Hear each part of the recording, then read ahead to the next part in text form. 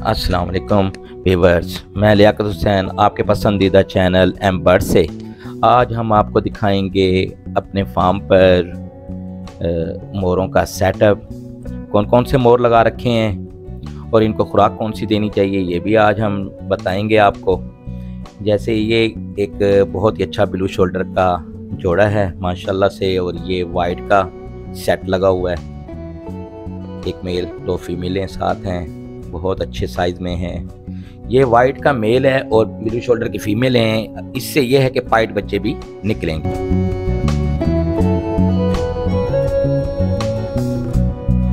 ये एक बहुत अच्छा यूनिट है। चार फीमेलें हैं ब्लैक शोल्डर की।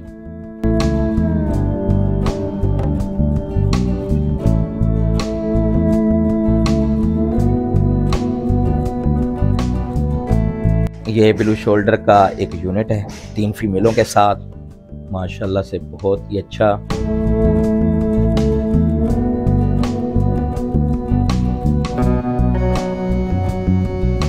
अच्छे साइज़ में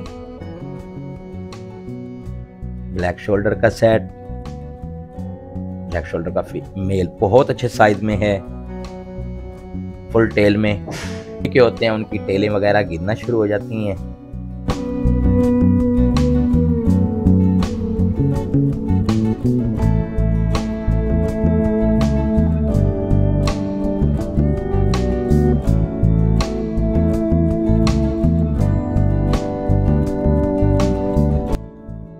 ऐसे भी कर सकते हैं कि ये ब्लू शोल्डर की फीमेलों के साथ ब्लैक शोल्डर का मेल छोड़ दिए। एमरेट की फीमेल है। एमरेट की फीमेल के साथ ब्लैक शोल्डर का मेल, ब्लू शोल्डर की फीमेल, बहुत अच्छी।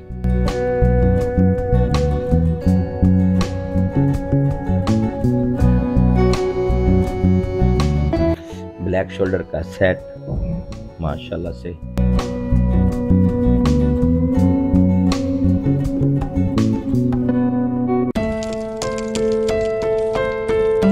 ब्लू शोल्डर का मेल भी आप लगा सकते हैं, ब्लैक शोल्डर की फीमेल के साथ।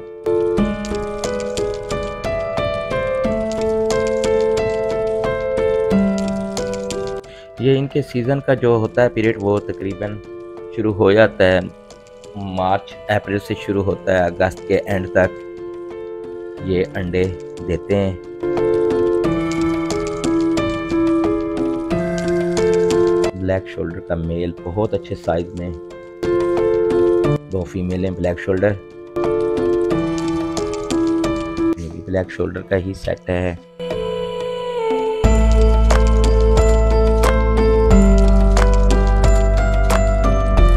ये इस वक्त इनके सीज़न के पिक टाइम है।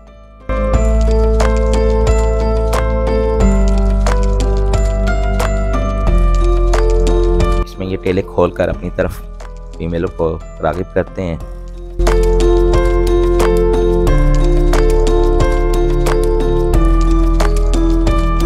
वाइट का सेट इसमें वाइट का set white shoulder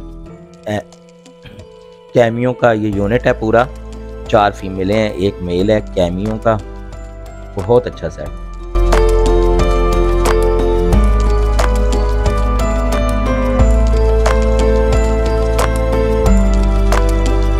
blue shoulder का सेट ये पट्टे हैं कैमियो का और एक ब्लू शोल्डर का।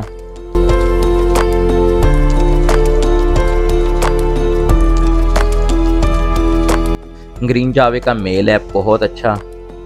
इस वक्त फुल मस्तियों में है। जब ये मस्तियों में होते हैं तो ऐसे ही नीचे सर करके तो ये अक्सर ऐसे करते हैं। ये जिस तरह ये कर रहा है, ये ज़्यादा मस्ती।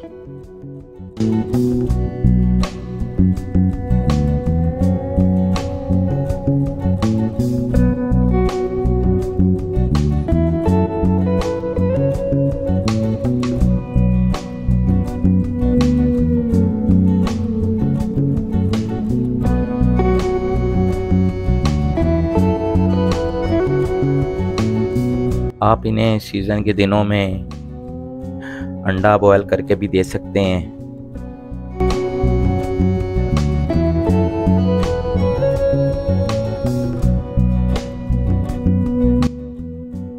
हम्म, सब्ज़े में आप इन्हें पालक मेथी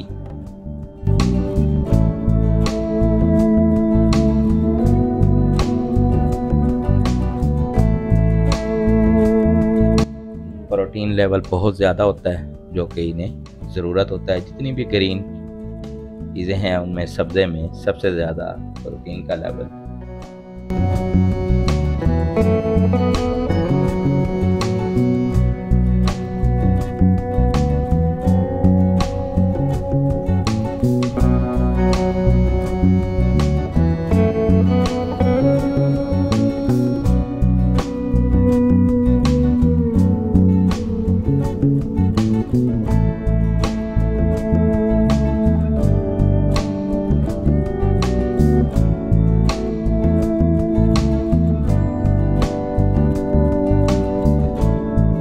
अक्सर दोस्त पूछते हैं कि इनके ये टेलें क्यों गिर जाती हैं? जब इनका सीज़न के दिन ख़त्म होते हैं तो ये इनकी टेल गिरना शुरू हो जाती है। फिर ये टेल आते आते तकरीबन पाँच से छः माह लगा देती है दोबारा। जैसी टेल मुकम्मल होती है, इनके ब्रीड का सीज़न शुरू हो जाता है।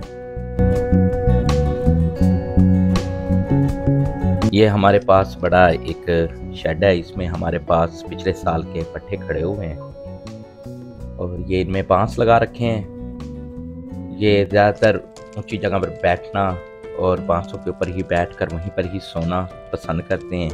बजाय कि ये ज़मीन पर बैठें, इन्हें ऊँची जगह पर बैठना ज़्यादा पसंद होता है। बाँस लगा दिए जाएँ तो ये वहाँ पर बहुत खुश रहते हैं।